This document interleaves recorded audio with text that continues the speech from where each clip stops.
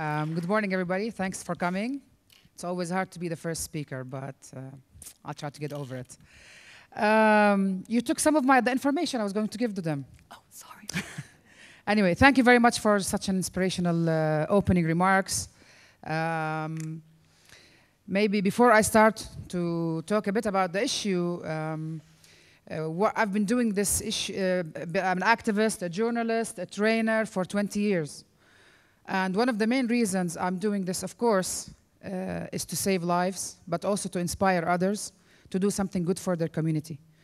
So uh, for me, this work is very, very important. Uh, I'm always happy to be invited to talk, and whatever I'm invited, be it a small classroom, a big audience, I just go and talk because I think spreading the word is one of the most important things uh, to do to involve people, to raise awareness about this issue. And uh, the reason, of course, I'm saying that is when I started reporting for the Jordan Times uh, back in 1993, the issue was taboo. Nobody wanted to talk about it. It was always considered as a family issue, uh, internal family issue, that nobody should get involved.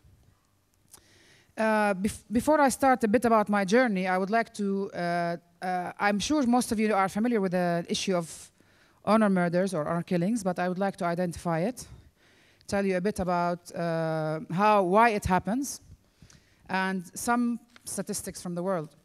So a so-called honor crime occurs when a family of a female relative, usually they're females, decide that their uh, female tarnished their image or reputation. And tarnishing the image or reputation uh, could be by being raped, getting involved in a relationship, being uh, uh, pregnant out of wedlock, for going missing from home, sometimes for financial inheritance reasons, for sometimes for the way they dress or they want to choose a certain life or a certain husband. So the, the reasons vary. So they decide that they want to kill this female to get rid of her and get rid of the shame. So to them, blood cleanses honor. Okay? Uh, these murders are a global problem. It's not uh, murders that are restricted or only limited to certain society or certain religion. There's always misconception about this issue. Uh, the murder of women has been happening since the ancient civilizations. And this is one of the reasons when I wrote the book, I wanted to know the source of these murders. Did it just happen, you know, when I was born and gr uh, grew up and I decided, discovered that these murders are happening? No. Violence against women is, has been going on for the longest time since ancient civilizations. In some civilizations, they only punished women, they didn't punish men. In the Roman civilization, for example, women were considered as property to their husband, uh, their family, and once they're married, then they become the property of their husband.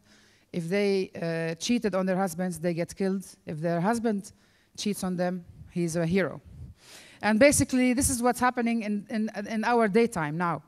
Uh, unfortunately, uh, if a woman did something wrong, the blame, wrong of course according to the social uh, standards, she is to be blamed. A lot of people, when they come and talk to me, you know, the woman should do this, the woman should get that. I tell them, excuse me, there's a man with her. Hello?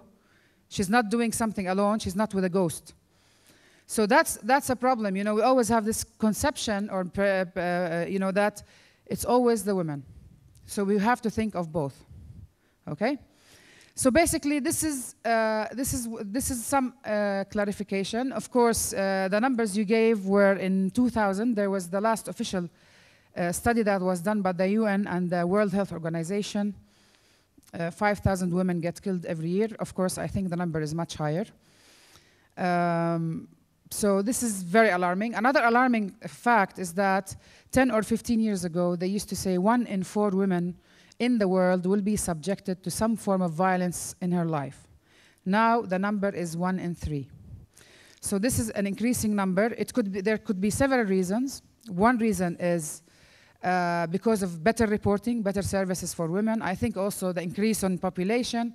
When there's an increase in population, the murder rates increase and so forth. That's why I always say that we always have to uh, raise awareness about this issue, empower women, tell them that there's a place they can go to. There's a lot of women who are abused who think that, okay, you know, he will get better, you know, he will get better. Of course, based on studies uh, in the US and elsewhere, if the violence increases, chances are women are going to be killed. It's not, he's not going to get better. And there are places that can help women without having to separate families or anything. So this is, this is very, very important for anyone, if you know anyone, or if anyone in this room is subjected to some form of violence, to know that there is help out there. Just look for it. And don't sit, sit and think the situation will get better. Okay, now back to my uh, experience when I started reporting for the Jordan Times, and the Jordan Times, of course, is uh, the only English daily in Jordan. Back in 1993, um, I came across a very sad story of a 16 year old schoolgirl who was killed by her family. Uh, what she did, of course, was she was a victim of incest. Okay, her brother raped her. This is not an everyday occurrence in Jordan, but this was the case that basically pushed me to do everything that I'm doing. And you see me now standing today because of that story. It was a horrific story. Uh, her family blamed her for being raped. Her, uh, her, her, the one who raped her, he threatened to kill her if she told her family. She had to tell them because she became pregnant. She underwent a secret abortion. They married her to a man 34 years older than her. Six months later, this man divorced her. The day he divorced her, they killed her. Imagine, she's only 16, she hasn't seen anything in life, and she ends up being blamed. So I reported this for the Jordan Times, and the following day we received a call from an intellectual woman who studied abroad, who started screaming and yelling at my editors that they should stop me from reporting these murders. Because this is not us, this is not our society, I'm tarnishing Jordan's image, all of that. So I became even more enraged, you know, that the call from, came from a woman. Instead of supporting me, she's trying to silence me. So I said, I'm going to report each and every case I hear about. At that time, no, the, the Arabic press would either not report the case or will just write a small item in the newspaper. Police, uh, a woman was killed, police are investigating. So I was, I, t- I said, I'm going to give a face, a name, a story to each and every woman I hear about who gets killed.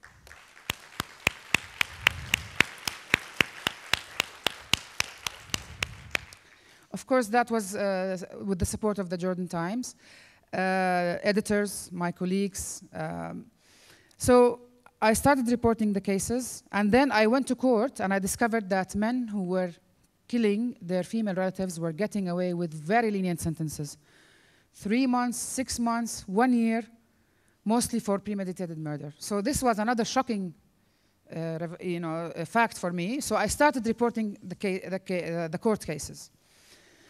And also, I discovered that women who survive these murders, they put them in prison to protect them from their families, and they stay there for indefinite periods without any charge. So these are the three things I focused on. Back then, people were telling me, "What are you doing? You're wasting your time. Uh, you, you, you, you write in English. Uh, no, nobody's going to believe you. Nothing's going to ever change in this country." This is a story that you know. This is a sentence that always, you know, don't, nothing will ever change. But I said no. Even my mother was like, you know, because I, when you ask about inspirational people, I said mother. I don't know if you heard me. I was the first person. My mom I did, was. but you were going to steal my line. So even my mother was like, you know, why are you writing about, uh, you know, women who get killed? Write about politics, you know, because I'm a journalist. So the expectation is you have to write about politics. But I don't want to write about politics because in our part of the world, you know, I believe that uh, it's very hard to change things because of the way we are living now. Because of I don't want to go into politics. so I said I'll work, I'll focus on the social issues, and I can make a difference socially. So I started reporting each and every case, and until 1998, I thought I was just documenting each and every case. And I said, because the Jordan Times is read by uh, decision makers, uh, the royal family, diplomatic missions, intellectuals, I said, I'm going to nag these people. They have to say something. And we started receiving letters to the editor, people voicing their outrage about these murders, about the court verdicts, and so forth. In 1998, I was nominated for the Reebok Human Rights Award. This award does not exist anymore, so don't dream of having this award. No, it's given to four individuals in the world every year for their activism and human rights. Anyway, it was in New York, uh, so I was nominated uh, and I won it. I was one of the four, so I went to New York. It was a glamorous celebration. Glenn Close, Peter Gabriel, you know, celebrities, and all of that. And Glenn Close gave me the award and so forth. But there, I discovered that I was also a human rights activist, not only just a journalist documenting. So the responsibility even grew more on behind my back, uh, on, on, over my shoulder, whatever you call. you know what I mean. so anyway, when I came back, a group of young men and women approached me and said we have to do something on the grassroots level. So we uh, formed a group of people, seven women and four men. We were meeting every week. It was called the Jordanian National Committee to Eliminate So-Called Honor Crimes. We decided that we wanted to do something on the grassroots level.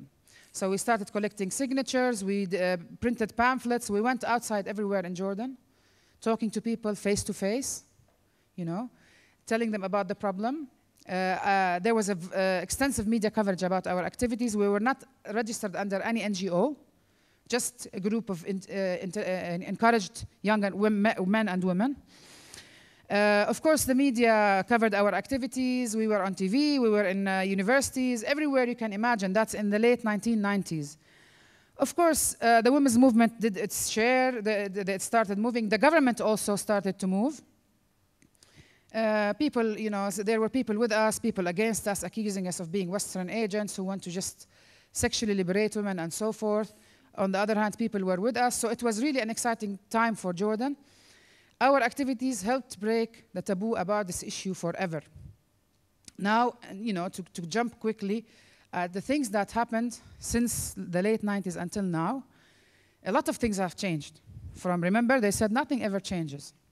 First of all, I know that uh, you know there's a problem with the laws, and actually the laws, uh, the laws regarding these murders, are present in almost uh, all the Arab uh, legal system. Let's say, uh, and our legal system is derived from the Napoleonic Code, talking about adultery. You know, if a, a man walks in and finds his wife or female relative uh, in an adulterous situation, kills one or both, is exempted. No, I'm actually sorry, committing adultery, then he is exempted from punishment. And another clause, if he finds them in an adulterous situation, then he uh, benefits from a reduction. This is almost present in all uh, uh, legal books in the Arab world. So uh, um, this was not the, you know most of the Arab countries because there's a lot of Arab countries that did work on this issue. Lebanon, Syria, Palestine, even Yemen. They did they tried they did social movements. In some countries, they did small amendments to this article.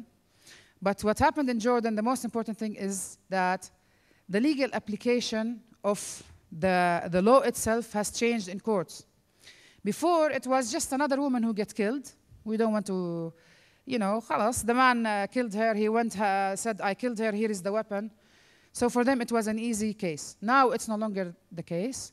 There is better investigation, and that's because of our activism, because of the training uh, uh the judges and criminal prosecutors had that, you know, a woman's, a woman's life is worth more than three months or six months.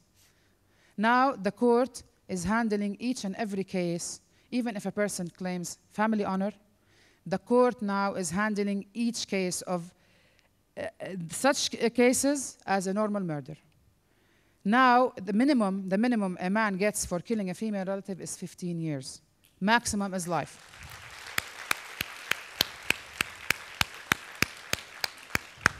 So this is something very, very important. Another important thing for, for that I, I saw from our activism is that we pushed the government to acknowledge we have a problem. When I started, and then, you know, because every, I, I write in English, we have researchers and so forth coming to talk to me. The, when they go talk to the government, oh, she's exaggerating, it's only five or six cases a year. When we did our activism as a group in the late 90s, okay, we have 12. Now they tell you we have 20 to 25, or go and ask Rana Husseini. So now I'm the source.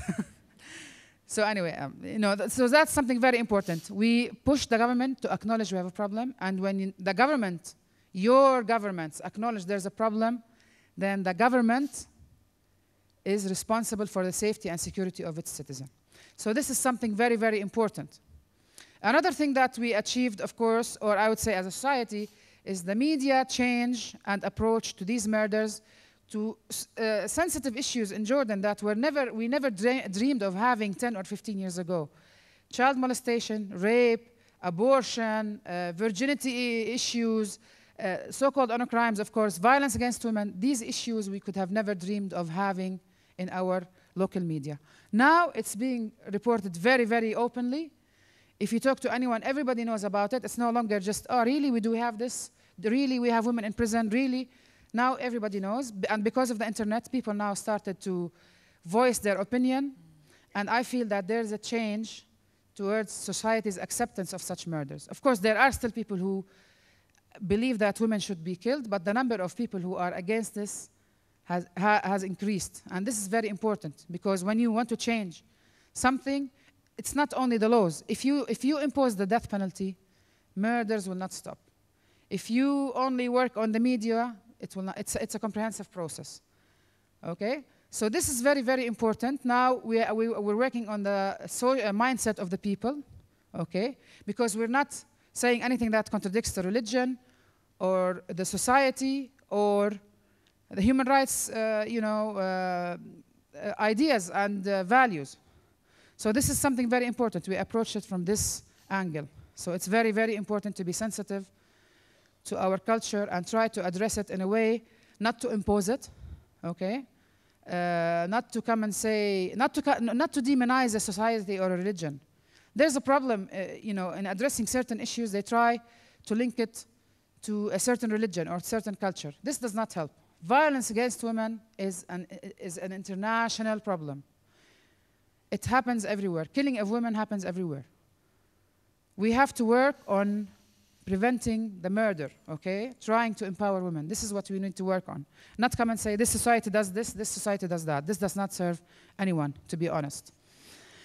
Another thing is now more men are involved, and it's very, very important uh, to involve uh, men in this fight and have them next to us. It doesn't serve to come and say men are evil, men are bad, men kill. Because many of the men who kill, they are also victim of these murders because I don't think anyone really wants to kill his uh, daughter or sister or the woman he grew up with to love and care for. Because it's it's social, uh, it's like social brainwashing. You have to kill, you have to kill, you have to kill, you have to kill. If you don't kill, people will look down on us, people will hate us, people will, we will be outcast. Uh, so you know, some societies or some families they turn a, a normal human being into a killer. So it's very very important to have, and I'm really happy that there are men in this. Uh, when I first looked, there were only women. But now I see there is more men. So it's very, very important to have men next to us.